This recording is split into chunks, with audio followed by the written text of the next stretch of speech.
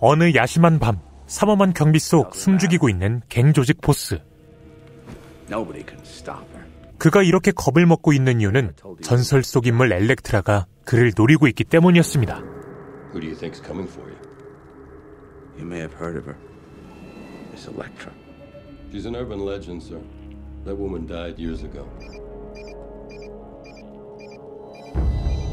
이때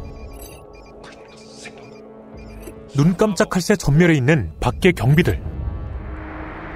이에 행동대장이 직접 나서보지만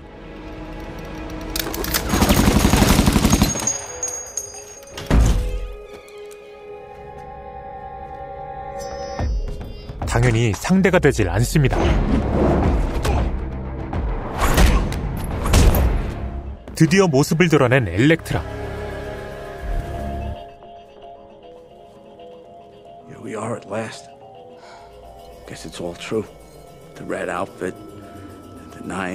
보스는 마지막 발악을 해보려 하지만 That's not that bad. 이를 그녀가 눈치채지 못할 리 없었죠.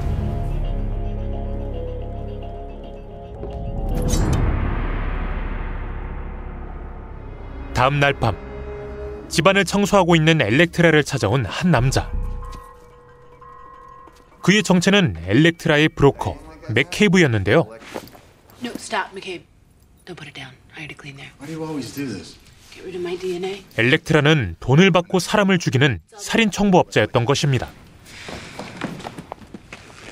And, speaking of which, as your agent, I am obligated to tell you we just got an absolutely fantastic new offer. Great idea. I'm just saying it's a lot of coin. I'm tired.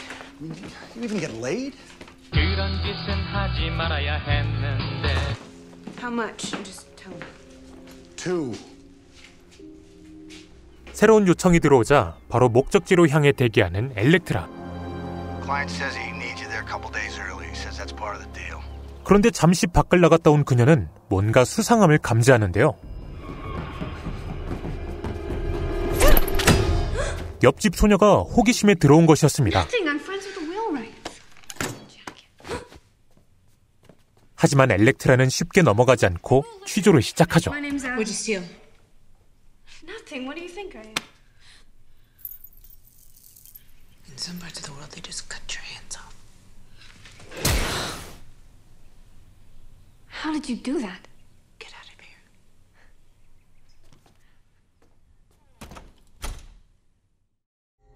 그날 오후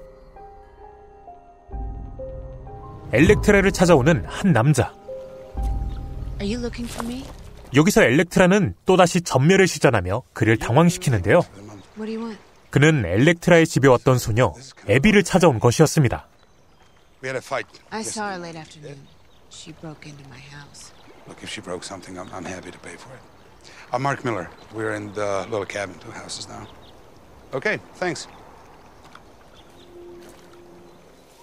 그리고 그날 밤 손님을 데리고 집으로 돌아온 에비. I'm sorry, she told me that you'd invited me. 사실 그녀는 엘렉트라에게 거짓말을 해 데리고 온 것이었는데요. No, please stay. I'm, I'm glad you're here. 어찌됐건 이들은 어색하면서도 친밀해지는 저녁 시간을 가지게 됩니다. What do you do anyway? Layoffs, payroll reduction, that sort of thing.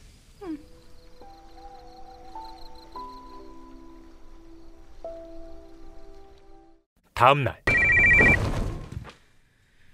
What? Good morning. You just got a delivery. 타겟이 담긴 우편물을 열어보는 엘렉트라. 그런데 놀랍게도 이번 타겟의 주인공은 마크와 에비였는데요.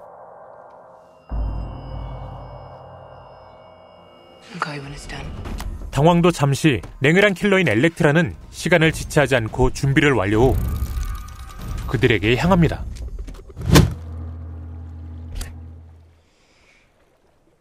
하지만 그녀는 난생 처음으로 살인 앞에서 주저하고 있는 자신을 발견하죠.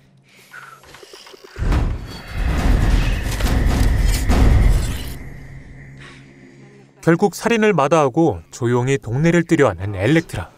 They'll just send somebody else, E. 하지만 그녀는 수상한 이들이 배에서 내리는 것을 보곤 계획을 수정합니다. 폭풍우가 내리는 밤 다시 마크를 찾아간 엘렉트라. Yeah, sure. 그런데 이땐 이미 닌자들이 주위를 둘러싼 이유였는데요. 엘렉트라가 살인을 거부하자 새로운 킬러들을 보낸 것이었습니다.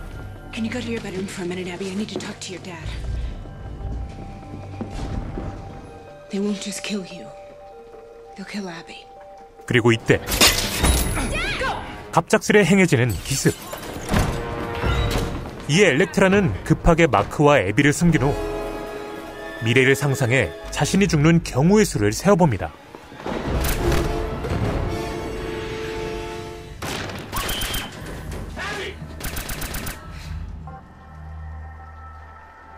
패배. 그리고 닌자들을 제압하기 시작하죠.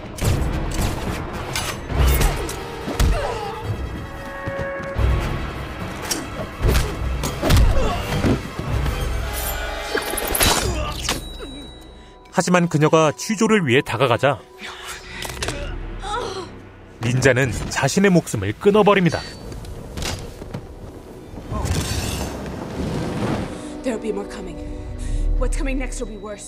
사실 마크와 에비를 노린 자들은 다름 아닌 국제적 닌자 조직 더 핸드였고 혼자서는 그들을 상대할 수 없단 것을 아는 엘렉트라는 스틱을 찾아가는데요. 스틱은 맹인 무술 고수였습니다. Whoa, whoa, whoa. You gotta be kidding me. Blind my ass. 그리고 과거 엘렉트라에게 모든 것을 전수해준 스승이기도 했죠. Electra. They need your help.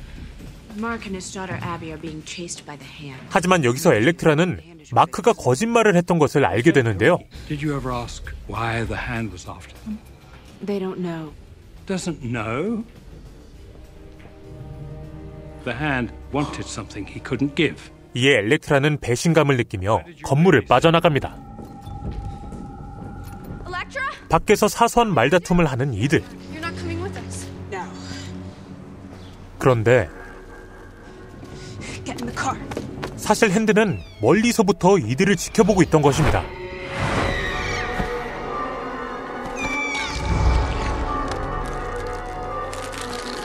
그리고 그 중심에는 핸드의 간부 중 한 명인 키리기가 있었죠. Keep track of them. 안전한 곳을 찾던 와중 결국 자신의 브로커 맥케이브에게 찾아간 엘렉트라. Well, well.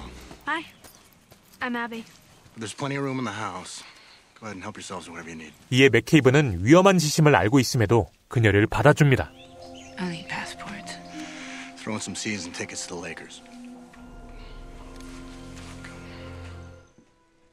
드디어 마음의 안정을 찾자 진실을 털어놓는 마크.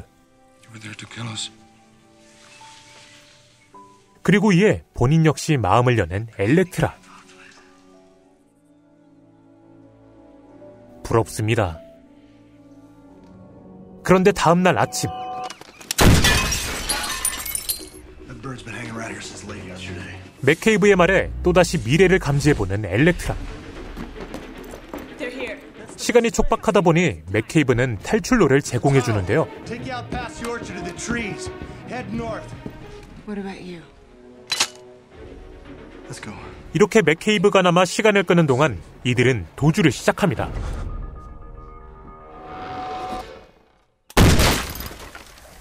하지만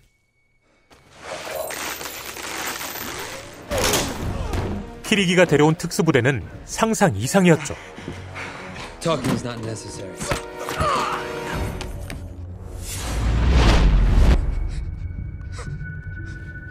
They're in the woods. 잠시 후 어느새 엘렉트라를 따라잡은 키리기 일당.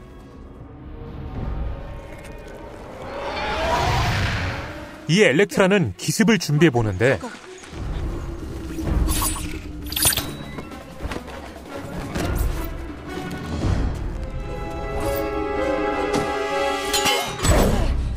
격투기 영화를 많이 본 이 남자에겐 무리였죠. 최대의 위기를 맞이한 엘렉트라. 하지만 그녀는 정신줄을 꽉 붙잡곤 쓰러지는 나무를 조종해 강철 몸의 사나이를 뭉개버립니다.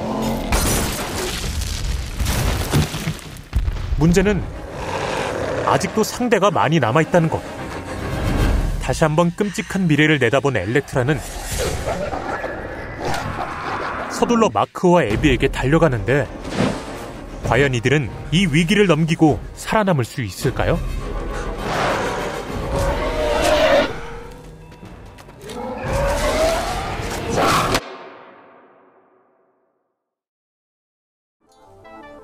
I don't want you to be like me. I do. 오늘 소개해드린 영화 엘렉트라는 일반 대중들에겐 많이 알려지지 않았지만 코믹스 세계에선 나름 인지도를 가지고 있는 마블의 여성 히어로 엘렉트라를 소개하는 작품입니다.